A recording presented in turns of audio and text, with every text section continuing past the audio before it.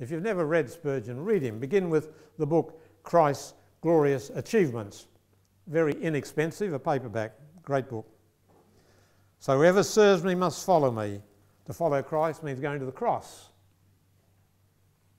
It means death to self will, death to unkindness.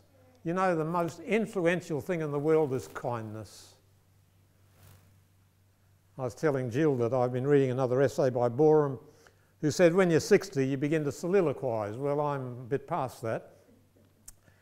And when I review my life, the people that stand out are the people who've been kind.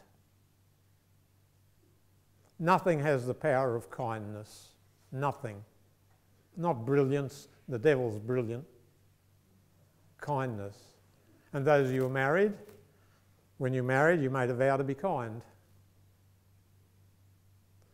And those of you that are single and not married, be kind to the married people. They're having a hard time. yeah.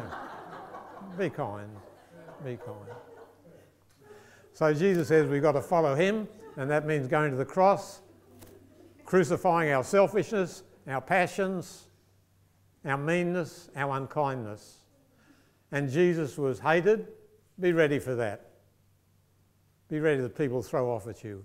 Whoever would serve me must follow me, he said. But them my Father will honour. Then there's a very important verse 27. Now my heart is troubled, and what shall I say? Father, save me from this hour. This is a rehearsal of Gethsemane. Gethsemane is not mentioned in John, but here's a rehearsal of it. Why is his soul troubled? Because the sin of the world is pressing upon him. Because soon he'll be separated from the Father. Soon he'll be cursed, treated as the offscouring of all things. So that's why his soul is troubled. Not his approaching death as such, or many martyrs would be better than he. He's troubled because of the weight of the sin of the world. Your sin, my sin.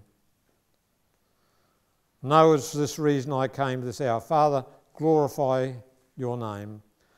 Then a voice came from heaven I have glorified it and will glorify it again. Three times God spoke audibly to Christ. Once when he came as prophet, baptized by John the Baptist. Once when he manifested himself as priest on the Mount of Transfiguration. And here now when he's going to be King of Kings and Lord of Lords. So the voice speaks to him as prophet, priest, and king, not for Christ's sake, but for the sake of people that were there.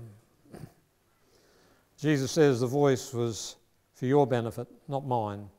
Now is the time for judgment on this world. And whenever John used the word judgment, he means condemnation. That's very important.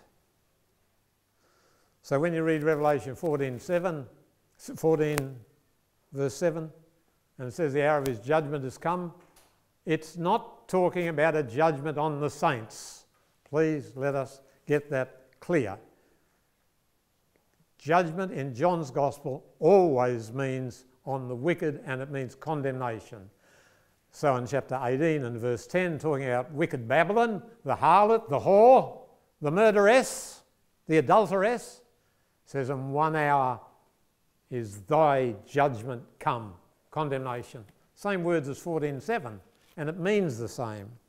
So now is the condemnation of the world. The cross condemned the world. The cross condemned the way most people lived. The cross condemned sin and selfishness, condemned Satan.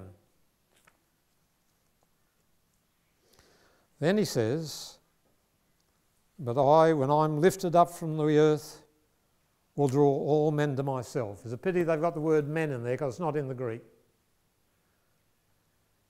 By the cross, he draws the whole universe to himself.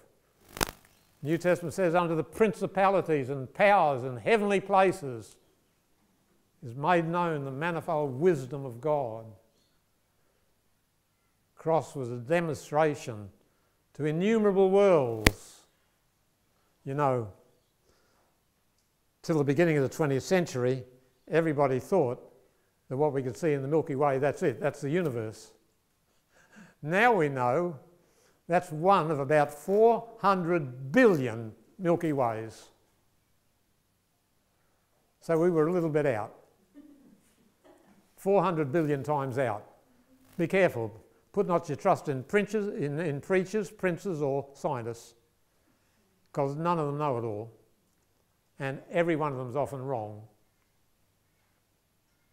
Augustine, when he was quite old, wrote a book called Retractions. this is very humiliating. His book called Retractions cancelled out many of the things he'd written in earlier years.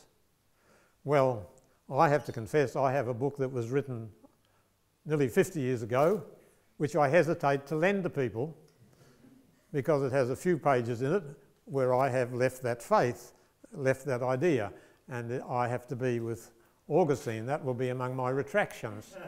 yeah, see? You've got to be very skeptical. Study for yourself. Give every man your ear, but not your head.